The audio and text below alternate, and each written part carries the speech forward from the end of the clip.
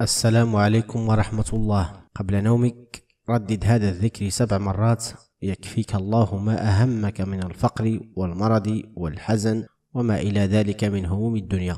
لكن قبل أن نبدأ ادعمونا بإعجاب للفيديو لاستمرار هذه النوعية من الفيديوهات. ولا تحرموا أنفسكم أجر مشاركة الفيديو كي يستفيد منه كل مسلم. جاء عن أبي الدرداء رضي الله عنه أنه قال من قال إذا أصبح وإذا أمسى حسبي الله لا إله إلا هو عليه توكلت وهو رب العرش العظيم. سبع مرات كفاه الله ما أهمه صادقا كان بها أو كاذبا. هذا الحديث أخرجه ابن السني مرفوعا وأخرجه أبو داود موقوفا وسكت عنه. ومثل هذا له حكم الرفع لأن ذلك لا يقال من جهة الرأي وهذا ظاهر.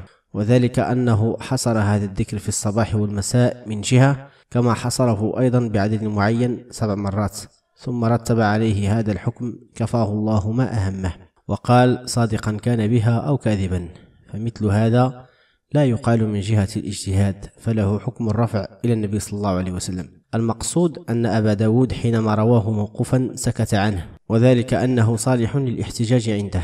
والمنذري رحمه الله قال لا ينزل عن درجة الحسن وشرح الحديث قوله من قال إذا أصبح إذا دخل في الصباح يعني وإذا أمسى يعني دخل في المساء حسبي الله حسبي أي كافيني أي الله كاف لي في جميع ما أهمني والحسب بمعنى الكفاية يعني أن اعتمادي على الله وهو الذي يكفيني ويكفي من اعتمد عليه. لا إله إلا هو يعني لا معبود بحق سواه. عليه توكلت أي اعتمدت وفوضت أمري وألجأت ظهري إليه. تبارك وتعالى في جلب ما ينفع ودفع ما يضر. يقول أنا معتمد إلى الله أنا مفوض أمري إلى الله. فهذا هو التوكل. عليه توكلت وهو رب العرش العظيم. العرش هو أعظم المخلوقات وخصه بالذكر لكونه أعظم هذه المخلوقات. فإذا كان هو رب العرش الموصوف بالعظمة فربوبيته تبارك وتعالى لما دونه من باب أولى. إذ هو رب كل شيء وملكه فإذا فوض العبد أمره إليه واعتمد عليه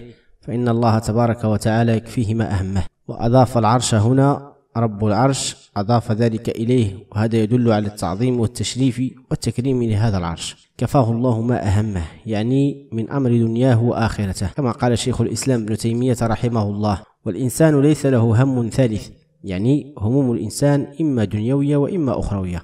أخروية ما يتعلق بالمصير الذي يصير إليه يعني يخاف من عذاب الله يخاف من النار يخاف من الحساب. وكذلك أيضا في الدنيا ما أهمه من الفقر ومن المرض ومن غير ذلك مما يقلقه ويزعجه ويشغل قلبه. هذا إذ قال ذلك سبع مرات في الصباح وفي المساء فهذا شيء يسير ويترتب عليه هذه الكفاية. ولا شك أن من توكل على الله تبارك وتعالى فهذا بنص القرآن بصرف النظر عن صحة هذا الحديث.